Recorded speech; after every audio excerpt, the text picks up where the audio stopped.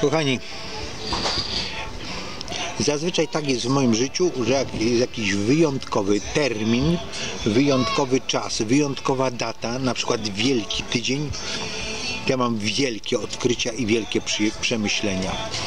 I w tym tygodniu mam szczególnie wielkie przemyślenia, które chcę Wam powtórzyć po raz kolejny.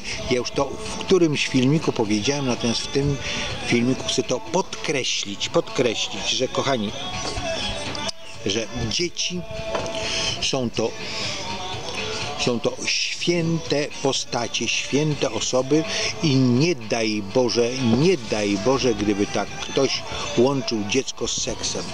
Dziecka się z seksem w ogóle nie łączy.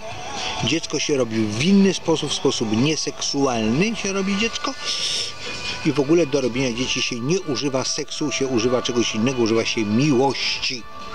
Seks służy do czegoś innego i dlatego jak mamy dzieci, to dzieciom się opowiada bajki. Przede wszystkim się opowiada bajki o kapuście albo o bocianie, żeby to dziecko nigdy nie łączyło czegoś takiego wstrętnego jak seks z czymś takim pięknym jak dziecko. I dlatego dzieciom się opowiada bajki, natomiast jak człowiek dorośnie, to wtedy się zajmuje takim, takimi świństwami jak seks i jak porno. Bo porno i w ogóle seks, seks w ogóle jako taki, to jak się czymś kończy, to się kończy albo A wielkim rozczarowaniem, albo B wielkim orgazmem. Jedno i drugie jest do siebie podobne. Natomiast bajki, bajki niezależnie od tego, jak są tragiczne w trakcie, to kończą się happy endem. Na końcu oni się pobierają i żyją długo i szczęśliwie. W jaki sposób nikt tego nie mówię. Ważne, żeby żyli długo i szczęśliwie.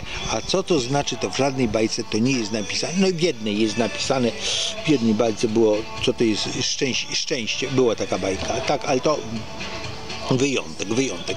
I dlatego, kochani, informuję Was, że happy endu nigdy nie miesza się z seksem, a seksu nie miesza się z happy endem i z bajkami. Natomiast życie, życie to jest real, a nie bajka.